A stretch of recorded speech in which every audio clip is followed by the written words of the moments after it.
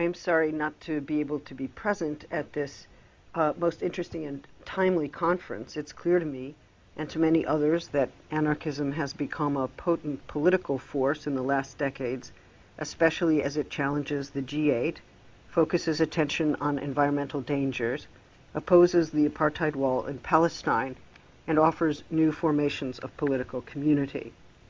I can hardly do justice to anarchism as tactic, or anarchism as political philosophy and practice, or anarchism as mode of life, or as an ethos of intensity.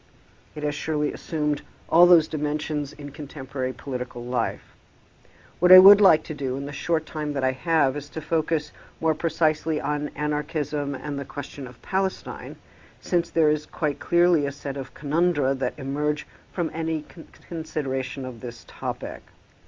On the one hand, it is clear that anarchists against the wall, originally called anarchists against the fence and Jews against ghettos, have represented a radical resistance to the occupation and continue to show up, put their bodies on the line in various villages along the path of the separation wall.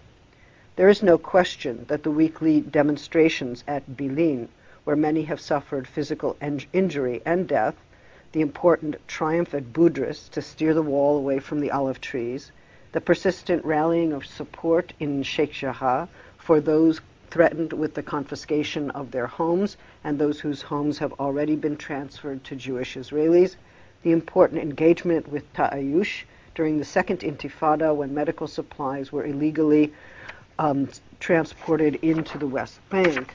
These have been but a few of many insistent and important political actions against an illegal occupation.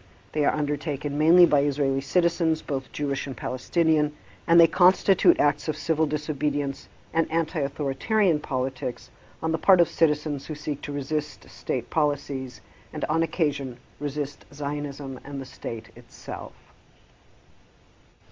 To a certain extent, these are actions that are not only intended to support Palestinians, but to work within the terms of their own resistance, and even to enter into political action only when explicitly invited. And yet it makes sense that anarchism would not be the name for the struggle undertaken by Palestinians living under the occupation or in Gaza, where the Israeli siege continues the occupation after the withdrawal of its settler population, because it continues to exercise complete control over the borders, decide what goods move in and out, vets human rights and NGO workers, undertakes bombardments, often against civilian populations, that destroy both lives and the infrastructural conditions of life. Anarchism, when defined explicitly as anti authoritarian or as anti statist, assumes the existence of a state against which it rallies.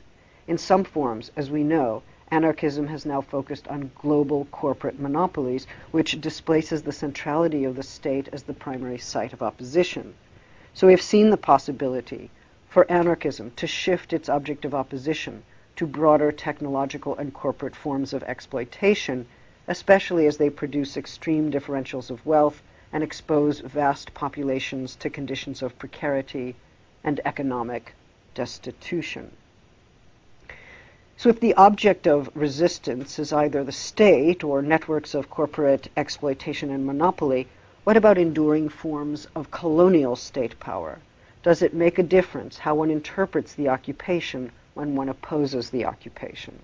In other words, can anarchism conceptualize its resistance to the occupation as an opposition to settler colonialism?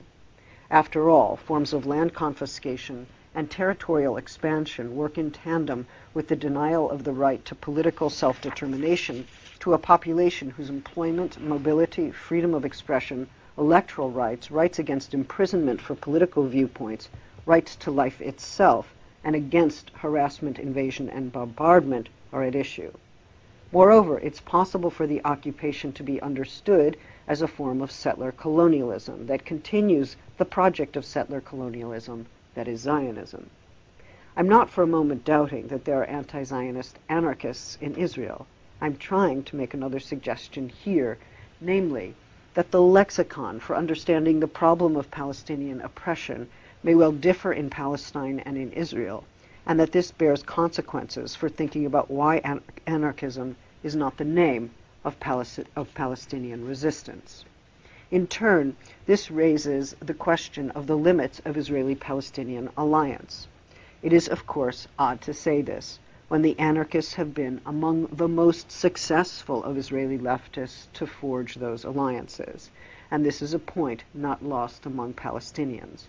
But it's precisely because anarchism has been among the most successful efforts that I want to press this point a bit further, since the chasm between Israeli resistance to the occupation and the Palestinian struggle for self determination still remains large.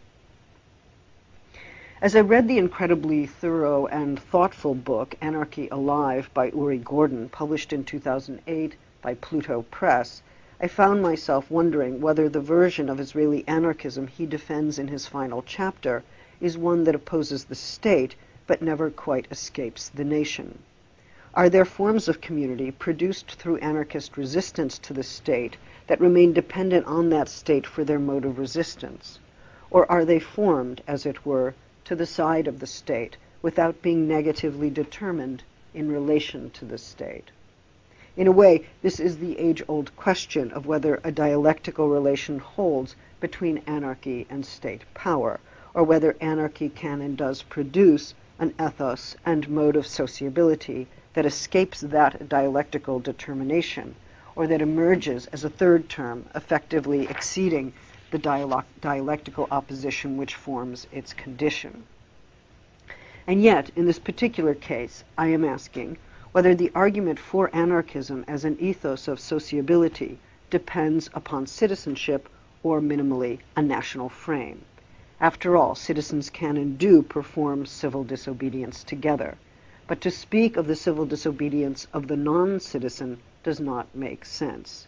The non citizen who is struggling either for citizenship or for, or for some other mode of, of political self determination, and let us keep those aims distinct for the moment, struggling, that is, against a form of domination and disenfranchisement in order to achieve a legible and effective mode of political self determination. To engage in civil disobedience or to engage in actions that seek to jam the machinery of the state is to risk jail and imprisonment as a citizen. And under extreme conditions, that citizenship can be revoked by the state, to be sure. We are, in fact, presently witnessing the expansion of the legal definition of treason in Israel to encompass all acts, including the public documentation of civilian casualties in Gaza, as potentially treasonous. I do not for a moment underestimate the kinds of risks that Israeli citizens have taken and take. And yet I want to call attention to the institution of citizenship. That is, how citizenship is systematically instituted and deinstituted. Citizenship within the established state has always been regulated in order to maintain Jewish demographic advantage. The expansion of settler communities within Palestine has been a way of establishing Jewish Israeli political rights to the land and the extended sovereignty of the State of Israel. Most clearly, the occupation constitutes a mode of militarized power that limits and undercuts Palestinian self determination.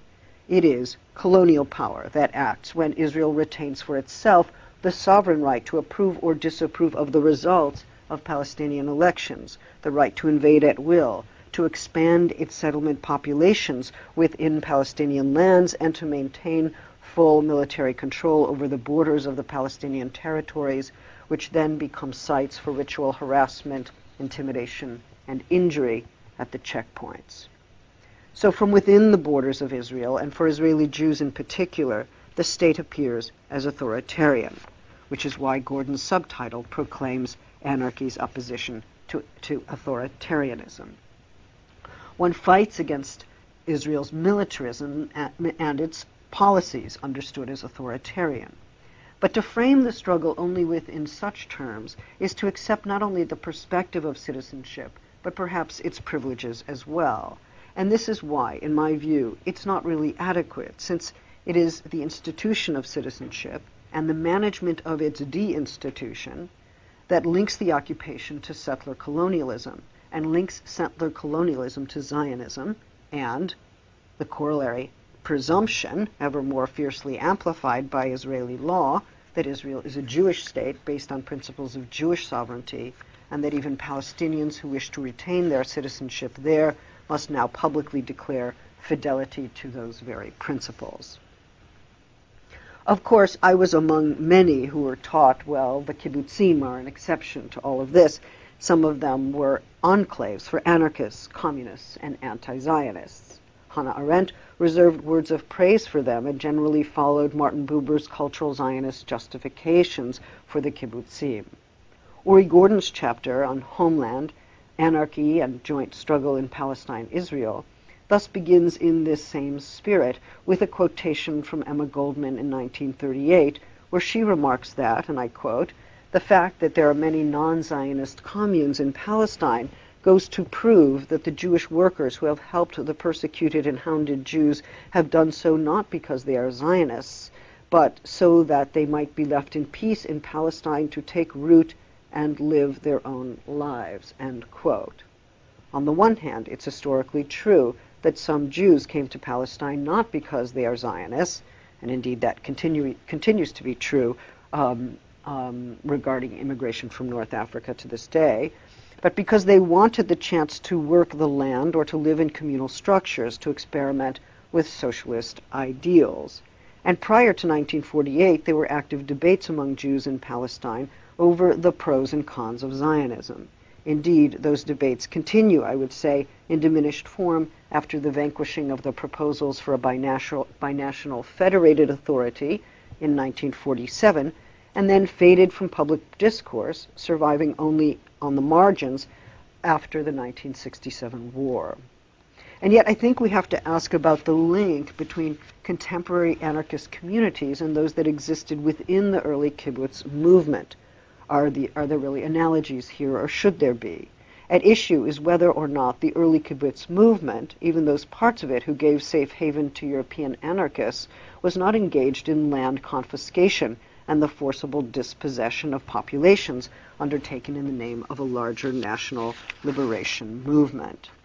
Indeed, when Emma Goldman says that those uh, non Zionist Jews wanted only to be left in peace in Palestine to take root and to live their own lives, um, she does not say in whose land they wish to take root and whether living their own lives um, was an effort to live them to, with, um, uh, with the exclusion, um, by, by excluding the indigenous um, Arab Palestinian population.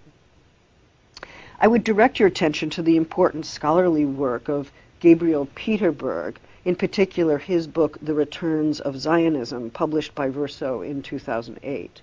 Indeed, it would be interesting to read this book together with Uri Gordon's book, published that same year, to understand the differences in perspective that concern me here. According to Piterberg's extensive research in this area, even the early kibbutz movement was determined by, and I quote, the conditions and desires of colonization, end quote. Colonization programs developed for Germans in Eastern Europe provided the basis for the work of Franz Oppenheimer, a German Jewish settlement expert. The point was to find and take over farms that could be sustained self-sufficiently, that is, without any reliance on external labor. In 1911, he, Oppenheimer, developed a plan for colonization that could be implemented either in Palestine or in Africa. Piterberg also points to the key contribu contribution of Arthur Ruppin, understood as the father of Jewish settlement, who established the Palestine Land Development Company